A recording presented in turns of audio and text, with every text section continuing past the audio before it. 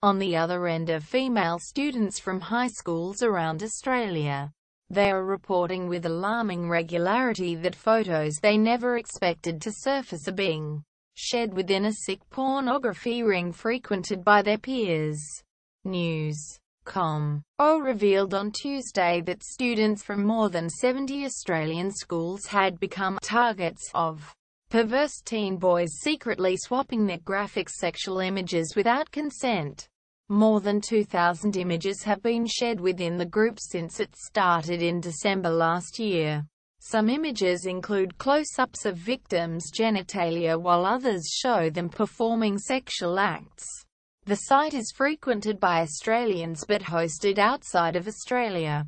Andree Wright and her team started receiving calls about the site on Monday. The acting Children's E-Safety Commissioner, who works with a team of former police detectives at the group's Pyrmont headquarters, said the pornography ring is very much the issue of the moment. Over the last few days we've received contacts about this site from girls with a range of concerns. Quote, Ms. Wright said, These are Australian women and Australian girls. We've got young girls coming to you and saying photos of them are being put up online which they never thought would surface publicly. The panicked callers are often lost about what to do next. They don't know who put the pictures online or who is hosting them. Ms. Wright says in many cases her organization which has powers above and beyond those wielded by police, can track the images to their source and have them removed. In other cases, it can be more difficult, but she encourages all victims to report nonetheless. There are particular pathways that we can take when a person reports an incident to us, she said. For example, if we know there's an image of an underage girl online but it's being hosted overseas, we can contact officers in that country through our network and they will look at it under their own laws. Often, that means the image can be removed but, sometimes it's a challenge. Ms. Wright said there are a few things victims can do when they discover they've been targeted. We talk about making sure you take screenshots and noting web addresses. She said, all that information is really important. She said victims should Google their name to check what other material might be out there and contact the websites hosting the material to request it be removed. Failing that, Google, it turns out, also has a process that makes it possible for certain pages to stop appearing in Google search results. Effectively what it does is that you report to Google, give specific details, and they can break any search link to that site for those images. Quote, Ms. Wright said, on Wednesday, police and several academics were less positive about the outcomes for victims.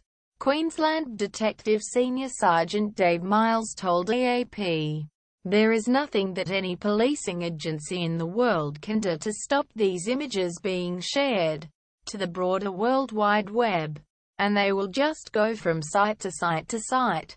Australian National University cybercrime expert Roderick Broadhurst said it was often impossible to get the photos offline or catch those behind similar sites. We sometimes call them bulletproof ISP locations. Jurisdictions that don't have standard cybercrime legislation, that don't have laws that enable people who use those sites to be extradited he told AAP on Wednesday. They operate through proxies. In other words, they shift around their location.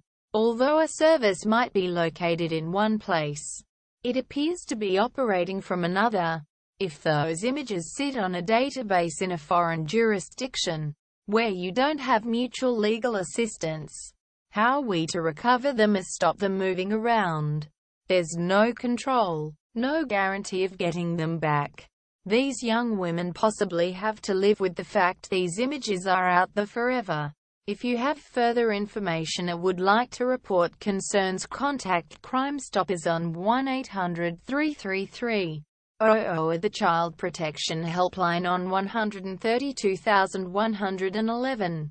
If you someone you know has been impacted by sexual assault or exploitation support is available. At 1800 Respectin Kids Helpline 1-800-55-1800. Help stop online child abuse. If you see something that's not quite right, report it at a safety. Gov. O. Report illegal content.